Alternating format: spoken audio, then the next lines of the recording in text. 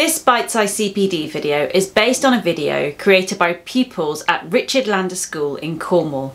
It was developed as part of the Head Start Kernow project. Students wanted to share ideas with school staff about how to respond and how not to respond when students were struggling.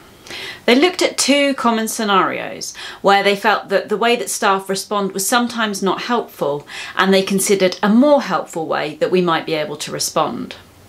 The scenarios were when a student is late for a lesson or if a student opens up to a member of staff. In both cases, they filmed what not to do and then what to do. So let's look first at the first scenario. This is when a student is late for a lesson. In this first clip, we see what the Richard Lander students thought we should not be doing.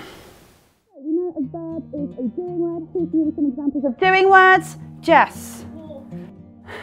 Why are you late? This is the second time this week you've been late. It really isn't good enough. You're going to start falling behind. Okay, quickly take a seat and write down what's on the board, please. Right, guys, where were we? This isn't the best way to deal with this situation. You're isolating a student and making them feel vulnerable in what's probably already a vulnerable situation. They might actually have a genuine reason why they are late and now they feel completely cut off from the rest of the class. What do you think about the clip? How do you think the student feels in this situation? Have you responded this way yourself in the past? I think most of us have. What do you think might be a better way of responding?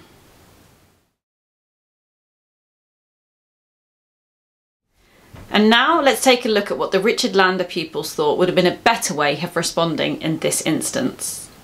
You know, some examples of doing words. Jess. Fantastic. Brilliant. Excellent. Great. What is a noun? A naming word. And name some things for me. School. Brilliant. Brilliant. Okay, so what I want you to do now is continue working on your stories for me. Okay, and we'll have some feedback in 10 minutes. Okay, let's go. Hey, Charlotte. Hey, what happened to make you late today? Oh, I just have to stay behind and talk to a teacher about something. Okay, you know this is the second time you've been late this week. Okay, so what we just need to make sure is that you catch up on any work that you miss. Okay, so if you don't get all the work done today, can you stay behind for five minutes just to make sure it get, gets done? Just don't want you falling behind, all right? While this won't necessarily solve the problem, it avoids the child feeling singled out and reduces disruption to the lesson. Do you agree? Can you imagine this response working in your classroom? How would you adapt this for use for yourself? In the second scenario, a student opens up to a member of staff about their personal circumstances. Let's have a look at the clip which shows what the Richard Lander students thought was a common but unhelpful way of responding in this circumstance.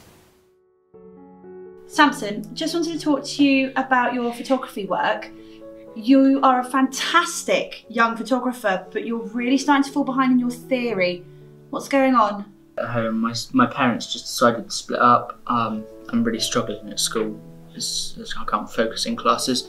I don't understand it, but it's really hard. Totally understand where you're coming from. My parents divorced when I was similar age to you. Really nasty divorce. It's really hard. Best thing I found when I was your age is to just get my head down and really focus on my schoolwork, focus on me, and put aside all the things that are going on outside. Yeah. Yeah, thanks. Comparing past experiences isn't very helpful. It can make you feel invalidated and frustrated. What do you think about this clip? How do you think the student feels? And how do you think the staff member could or should have responded differently?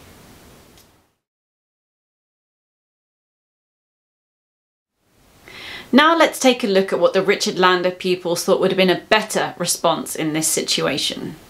Samson, just wanted to talk to you about your photography work.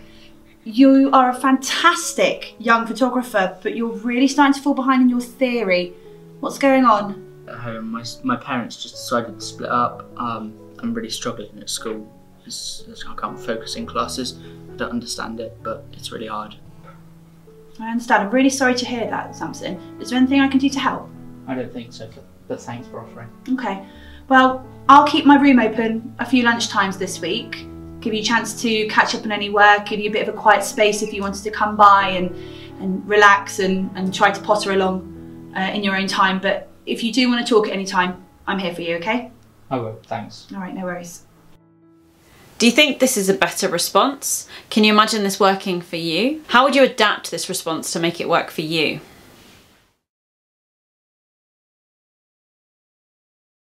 Can you think of any other situations where the way in which we might commonly respond might not be the most supportive way to respond to our students? Think about what those situations might be, what our common response is, and perhaps what a more supportive response would be. I hope this gave you a bit of a chance to reflect on the more supportive and less supportive ways that we might be able to respond to students. A huge thank you to Head Start Kernow who sponsored the project and to the students of Richard Lander who created the films and an especially big thanks to the superstar teacher from Richard Lander who was such a good sport and who deserves an Oscar, don't you think?